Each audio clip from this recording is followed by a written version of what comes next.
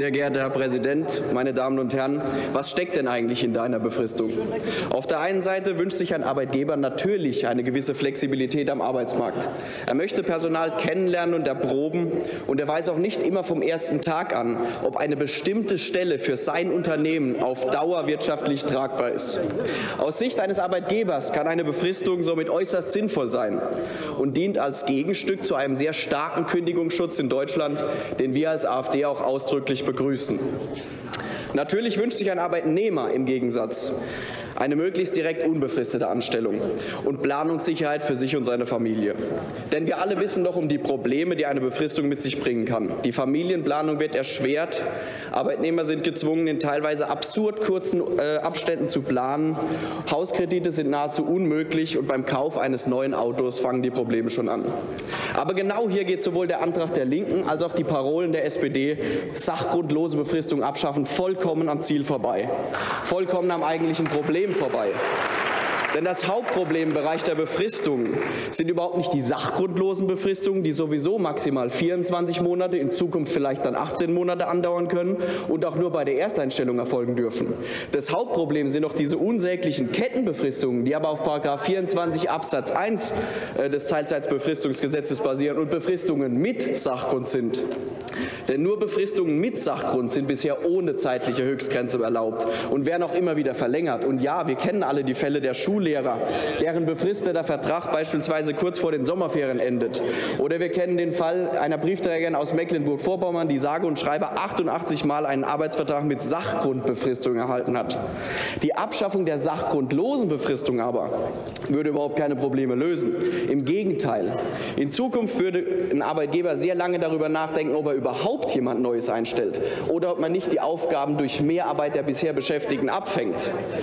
Wir würden also Überstunden produzieren und wir würden eine Flucht in die Leiharbeit verursachen. Und das kann auch wirklich nicht im Sinne der Linken sein. Die Debatte, die die Linke hier anstößt, ist eine reine Phantomdebatte. Und meine Damen und Herren, Ihr Antrag ist überhaupt nicht das Papier wert, auf dem er geschrieben ist. Lieber, Liebe Abgeordnete der Linken, liebe Abgeordnete der Linken, geben Sie sich doch bitte in Zukunft einmal zumindest Mühe und kümmern Sie sich um die echten Probleme der Beschäftigten in Deutschland. Wir als AfD wir als AfD möchten, wir möchten pragmatisch arbeiten und die Arbeitnehmer in Deutschland schützen. Deshalb machen wir uns Gedanken über eine grundlegende Reform des Teilzeitbefristungsgesetzes.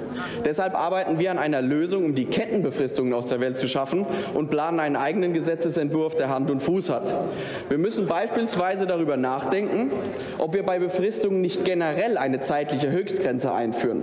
So bleibt eine gewisse Flexibilität für Arbeitgeber erhalten, für, nicht nur für sachgrundlose Hause. Es steht nicht im Koalitionsvertrag. Und wir lösen das Problem der Kettenbefristung trotzdem effektiv und dauerhaft. Wir können auch gerne darüber diskutieren, ob eine höhere Zahlung der Arbeitgeber in die Arbeitslosenversicherung beispielsweise bei Befristungen nicht ein Anreiz sein könnte, dass Unternehmen Befristungen eindämmen. Und ehrlich gesagt, obwohl ich nicht so oft wie Herr Schulz mit Macron telefoniere, weiß ich trotzdem, dass in Frankreich sachgrundlos befristete Arbeitnehmer, die nicht übernommen werden, beispielsweise eine Abfindungszahlung erhalten. Wir können gerne im Ausschuss über diese verschiedenen Möglichkeiten diskutieren diskutieren. Und wir können gerne konstruktiv und gemeinsam an einer Lösung arbeiten. Aber an die ganzen Sozialisten und Kommunisten hier im Saal, hören Sie doch bitte endlich mal auf mit Ihren ganzen falschen Versprechungen, sowohl im Wahlkampf als auch im Parlament. Und hören Sie auf mit der Schelte der Privatwirtschaft. Die SPD fordert jetzt beispielsweise die Grenze, die Obergrenze von 2,5 Prozent sachgrundlose Befristungen. Frau Nahles ist heute ja leider wieder nicht da. Vielleicht telefoniert sie jetzt mit Macron, nachdem Schulz abgesägt wurde. Aber ist es nicht so, dass im Sozialministerium von Frau Nahles 13,7 Prozent der Belegschaft sachgrundlos befristet waren? Ist es doch, es ist wahr. Ist es nicht korrekt, dass im öffentlichen Dienst und insbesondere in SPD-geführten Ländern die Befristung, die, der, die Anzahl der Befristungen weit über dem von Ihnen geforderten Wert liegt? Natürlich ist es so. Sie machen überhaupt keine Politik für Arbeitnehmer. Sie machen Klientelpolitik für die Gewerkschaften und vor allem für die Kameras, meine Damen und Herren. Aber aber machen Sie sich keine Sorgen, genau das merken doch die Arbeitnehmer da draußen, unsere Bürger. Der kleine Mann hat die SPD einst groß gemacht, aber der kleine Mann tritt jetzt gewaltig in den Hintern und wählt die AfD, meine Damen und Herren. Und, und obwohl wir Ihren Antrag für fachlich vollkommen falsch halten, stimmen wir einer Überweisung in den Ausschuss gerne zu und freuen uns dort auf eine sachliche Diskussion über die wahren Probleme der Arbeitnehmer in Deutschland. Vielen herzlichen Dank.